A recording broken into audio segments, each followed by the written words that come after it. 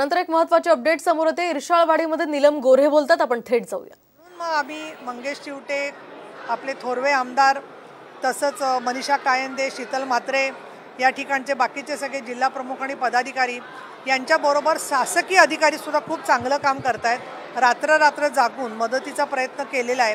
पण असं जरी असलं तरीसुद्धा काही लोक बेपत्ता आहेत. त्यांची संख्या निश्चित व्हायची की किती लोक बेपत्ता झालेले आहेत. आणि म्हणून मी प्रशासनाला सूचना दिल्या आहेत की तुम्ही सर्वेक्षण आता लवकरात लवकर पूर्ण करा की ज्याच्यामध्ये छोट्या मुली किती आहेत छोटे मुलगे किती आहेत त्यातले निराधार किती आहेत वयोवृद्ध लोक किती आहेत एकल महिला किती आहेत. बऱ्याच वेळेला यांच्या परिस्थितीचा गैरफायदा घेणाऱ्या पण अपप्रवृत्ती समाजात असतात.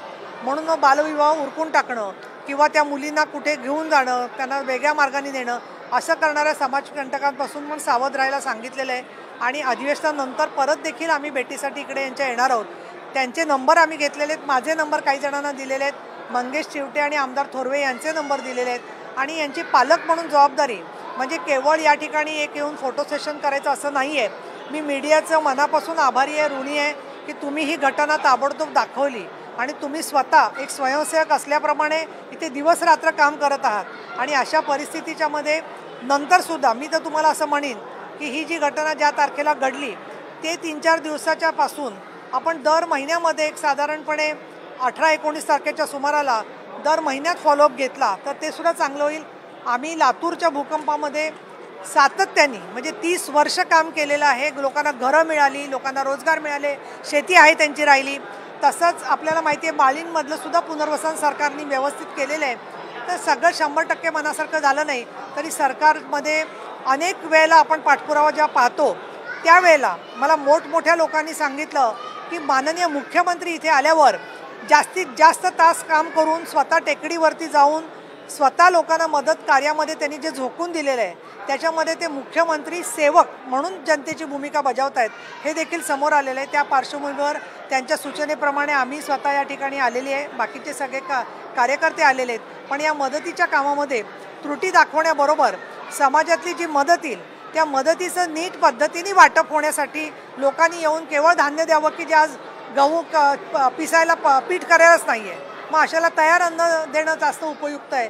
तर या सगळ्या बाबतीत जिल्हाधिकाऱ्यांशी आणि असिस्टंट कलेक्टर आहेत त्यांच्याशी बोलून जर का नियोजन केलं तर ते चांगलं होईल असे माझं तुमच्यातर्फे आवाहन. तुम्ही पालकत्व तुम्ही स्वीकारलेलं आहे परंतु त्या ज्या पालकत्व स्वीकारलेल्या विद्यार्थ्यांचं उच्च शिक्षणाची जबाबदारी जी आहे ती शासन घेणार का? कारण की तुम्ही बोलताना सांगितलं की अठरा वर्षांपर्यंत त्यांच्या शिक्षणाची तुम्ही जबाबदारी घेणार.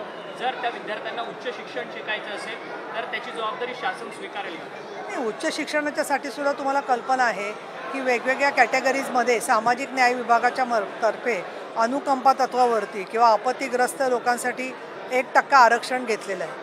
तर ते एक टक्क्यामध्ये नाही बसले तर उलट माझा आता विधान परिषदेत प्रयत्न आहे आणि ज्याच्यासाठी माननीय मुख्यमंत्री एकनाथजी शिंदे उपमुख्यमंत्री देवेंद्र फडणवीस उपमुख्यमंत्री अजितदादा पवार आणि संबंधित मंत्री मोदे की जी जी अनाथ मुलं असतील मग ती या ठिकाणची असतील किंवा इतर इतरत्रची असतील? त्या सगळ्या मुलांना अठरा वर्षानंतर सुद्धा पायावर उभं राहीपर्यंत सरकारची सहकार्य मदत मार्गदर्शन मिळवून देण्यासाठी एक चांगलं धोरण करावं असा आमचा प्रयत्न आहे. त्यामुळे त्याच्यामध्ये सुद्धा आपल्याला त्याचा समावेश करता येईल. काही जे मुलं आहेत ते आर्थिक नियोजनासाठी त्यांच्या चार पैशासाठी जॉबला किंवा कामाला जाऊ शकतात कुठे इकडे. तर ते रोक तुम्ही बोलला की आता इथे रोखलं गेलं पाहिजे आणि त्यांनी शिक्षण मध्येच अर्धवट सोडलं नाही गेलं पाहिजे. तर ते विशेष खबरदारी कशी घेतली जाईल? नाही याच्यासाठी शासकीय यंत्रणेवर जशी जबाबदारी आहे तसं मी तर लोकांमधल्या नेतृत्वावरती जास्त विश्वास ठेवते. त्यामुळे त्यांना स्वतः पहिले चार पाच मुलांच्या मध्ये आणि मुलींच्या मध्ये आणि पालकांमध्ये जागृती झाली तर त्यांच्याकडून सहभाग झाला तर जेवढं आपल्याला चांगल्या पद्धतीने काम करता येईल तर ते चांगलं होईल. म्हणून पोलीस पाटील किंवा सरपंच किंवा तहसीलदार या संदर्भात निगराणी घेण्यासाठी मी सांगितलेलं आहे. परंतु तुमच्या जर का कानावर आलं की कुठे अशी मजबुरीमुळे मुलं जात असतील तर तुम्ही सुद्धा अं, बातमीबरोबर आम्हाला ते कळवलं तर आम्ही निश्चितपणाने त्याच्यात सहकार्य करू. दरड कोसळण्याची भीती या गावकऱ्यांना अगोदरच होती. त्यामुळे डोंगराच्या पायथ्याशी त्यांनी एक वस्ती तीस ते चाळीस घरं त्यांनी बांधलेली होती उन्हाळ्याच्या दरम्यान. ती फॉरेस्ट ती फॉ ती जागा फॉरेस्ट लँडच्या डिपार्टमेंटच्या अंतर अंतर्गत येत असल्यामुळे तिथेची घरं जी आहेत ती फॉरेस्ट डिपार्टमेंटने तोडलेली होती. त्याच्यानंतर ती सगळी व्यक् ती सगळी इर्षागाडा इर्षावाडीवरची माणसं जी आहेत ती पुन्हा डोंगरावरती राहायला गेली. त्यामुळे दरड आता कोसळलं आणि संपूर्ण गाव गेलेलं आहे. कुठेतरी सरकारी यंत्रणा यंत्रणेने जी कारवाई केली त्याच्यामध्ये हे सगळे बळी पडलेले आहेत. याला मला एक काय प्रश्न आहे? की त्या ज्या महिला आहेत त्या महिलांचं असं म्हणणं होतं की मी वेळोवेळी जेव्हा खाली राहण्याची विनंती फॉरेस्ट अधिकाऱ्यांना करत होतो मात्र त्यांनी ऐकलं नाही आणि आमच्या सगळ्या झोपड्या तोडल्या आणि पर्यायानं आम्हाला तिकडे राहावं लागलं. पर्याय हे सगळं तुम्ही जे काय फॅक्ट फाइंडिंग केलेलं आहे त्याची वस्तुस्थिती काय आहे ते मी जरा तपासून घेते. महिलांनी काय काय तक्रारी केल्या होत्या तिथे राहण्याच्या संदर्भात परंतु ज्यावेळेला सन्माननीय अजितदादा पवारांनी निवेदन केलं सभागृहात त्यावेळेला हा मुद्दा काही आमदारांनी विचारला होता की हा दरडग्रस्त भागातल्या अहवालमध्ये ह्या भूभाग येत होता का? तर त्यांनी अहवाल बघून सांगितलं की तो दरडग्रस्त भागामध्ये येत नव्हता. पण लोकांना भीती वाटत असेल हादरे वगैरे बसतात म्हणून तर त्यांना पर्यायी जागा देण्याच्या संदर्भामध्ये इथेच असं नव्हे. तर मी आपल्या माध्यमातून सांगते की लोकांना जिथे वाटत असेल की दरडीमुळे आमच्या जीवाला धोका आहे त्यांनी संबंधित तिथल्या अधिकाऱ्यांना किंवा मी तर म्हणेन डायरेक्टली मुख्यमंत्री कार्यालयाकडे माहिती कळवली तर त्या त्या भागामध्ये किंवा माझ्याकडेही कळवली तर त्या त्या भागामध्ये संबंधित जिल्हाधिकारी किंवा विभागीय आयुक्त यांच्याशी बोलून त्यांना पर्यायी जागा तात्पुरत्या काळात मिळवून देण्यासाठी शासन निश्चितपणाने प्रयत्न करेल. चौकशी याची चौकशी होणार का? याची चौकशी होणार का? कारण की वन विभागाच्या कारवाईनंतर ही संपूर्ण घटना घडलेली आहे. दुर्दैवी घटना आहे. आणि जिल्हा प्रशासनाने योग्य ती म्हणजे संपूर्ण खबरदारी घेतलेली नाही. खबरदारी घेतलेली नाही. नाही मी इथल्या इथे चौकशीचं घोषणा यासाठी करत नाही आहे की मला त्यातली वस्तुस्थिती समजून घेतली पाहिजे आणि या क्षणी आत्ताच्या क्षणी सरकारी यंत्रणेचं नीतिधैर्य खच्ची होईल असं कुठलंही काम करू नये हे माझ्या चाळीस वर्षाच्या अनुभवाने लक्षात आलेलं आहे. त्यामुळे तुमची भावना योग्य असली आणि त्याची ब्रेकिंग न्यूज होणार असली तरीसुद्धा मी आत्ता तसे निर्देश देणार नाही. शेवटचा प्रश्न ताई एक शेवटचा प्रश्न. नाही तुमचे मी एकदा सांगितलं तपासून घेते तर परत परत तोच प्रश्न नाही विचारायचा रायगड हां. जिल्ह्यामध्ये अनेक अशी ठिकाणं आहेत जी आता अति धोकादायक दरड क्षेत्रात दाखवलेली आहेत. बाजूलाच मोरबेवाडी आहे. काल आम्ही सुद्धा माध्यमांनी तो प्रकार दाखवला. त्या ठिकाणी सुद्धा आताची ही महत्वाची अपडेट आपण पाहतोय. उद्धव ठाकरे हे इर्शाळवाडीमध्ये आता दाखल निघालेले आहे. इर्शाळवाडी या ठिकाणी जाण्यासाठी आताची ही महत्वाची ब्रेकिंग न्यूज आपण पाहतोय. उद्धव ठाकरे हे आपल्या मातोश्री या बंगल्यावरून इर्शाळवाडीकडे जाण्यासाठी रवाना झालेले आहेत. कालच आदित्य ठाकरे यांनी सुद्धा इर्शाळवाडीमध्ये दुर्घटनाग्रस्त भागाला भेट दिली होती. तिथल्या नागरिकांशी त्यांनी संवाद साधला होता आणि आज उद्धव ठाकरे हे त्या ठिकाणी जाण्यासाठी रवाना झाले आहेत. आताच नीलम गोरे या सुद्धा या ठिकाणी दाखल झाल्या होत्या एकूणच सगळे राजकीय नेते त्या दरडग्रस्त भागाला भेट देत आहेत. त्या नागरिकांशी संवाद साधत आहेत आताची ही महत्वाची अपडेट आपण पाहतो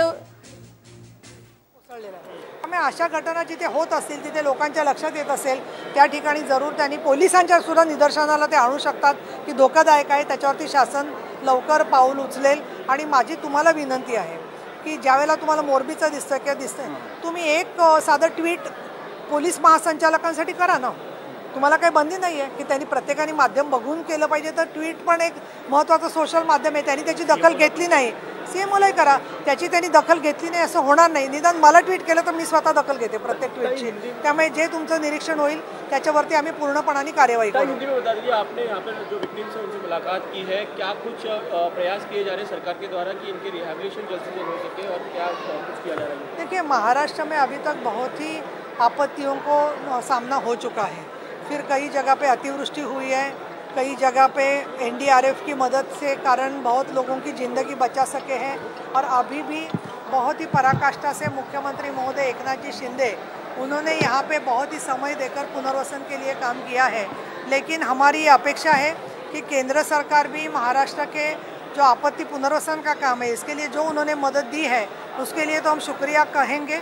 लेकिन और भी जिस, जो इस बात में मदद लगेगी, वो मदद अगर मिलेगी तो महाराष्ट्र शासन का काम आसान होगा। एक बहुत अहम मुद्दा है सस्टेनेबल डेवलपमेंट गोल्स का, कि बार बार ऐसी आपत्तियाँ क्यों आती है? उसको बदल करने के लिए खुद महाराष्ट्र शासन ने हर डिस्ट्रिक्ट में हंड्रेड करोड़ रुपीज़ का प्रावधान किया है और उसमें वो आपत्ति प्रतिबंधक योजना बना सकते हैं।